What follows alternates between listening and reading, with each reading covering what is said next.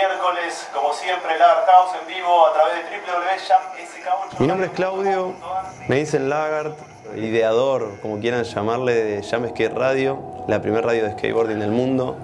Era el medio que le faltaba al skate y ahí es cuando se me prendió la lamparita y dije, esto es lo que falta y es lo que me gusta a mí. Creo que siempre quise hacer radio, ¿no? Así que no sé, eso es un flash.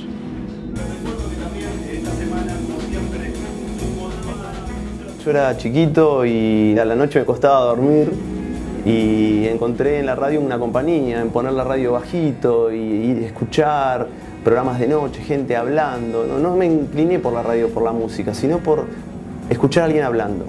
Escuché a Milton la semana pasada, estuvo interesante, bacano que la gente de Latinoamérica escuche qué hace Milton acá, cómo se mueven los sponsors, cómo es la vida acá de un amateur o de un profesional, cosas aquí que no se ven allá.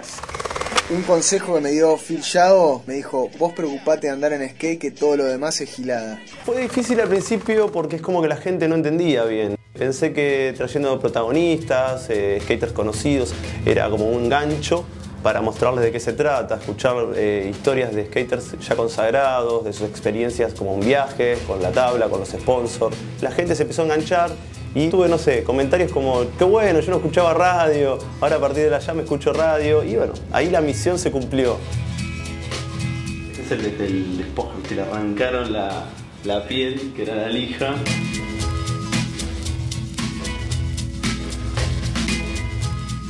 A partir de la radio mi, mi, desafío fue cada año, ya este es el cuarto año, entrando al quinto, crear algo distinto todos los años, manteniendo la estructura de radio como medio, pero con el sostén de la web, poder generar videos.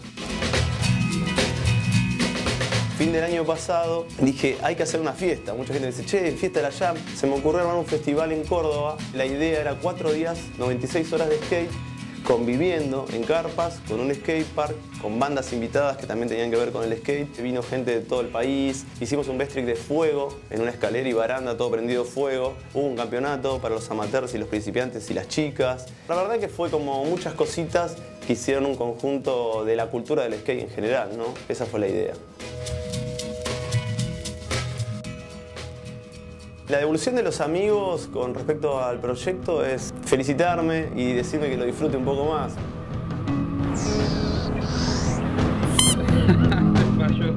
La página la hago yo, las notas, chequeo los mails primero y principal, porque es lo que me ayuda a ordenarme un poco. Después agarro el skate, me voy a patinar un rato.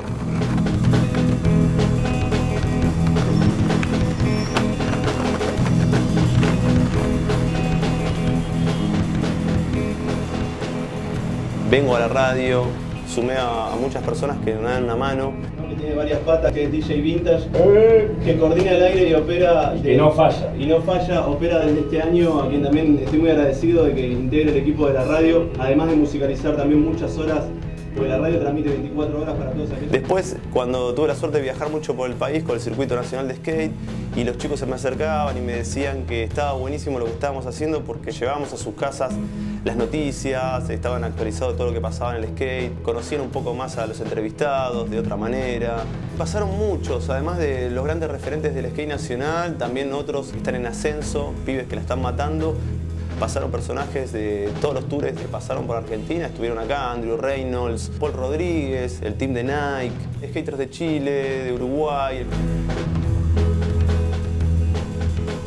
La verdad que grandes referentes a nivel mundial estuvieron por la Jam, ya sea en vivo o a través de Skype o las formas que hay de comunicación, ¿no? Pero fue la verdad que una revolución en sí como medio y para la cultura del skate Jam. Es un sueño y es un sueño que hice realidad y es un poco, ¿no? Eh, los sueños, realizarlos. Si le pones todo, todo va a salir, todo va a andar.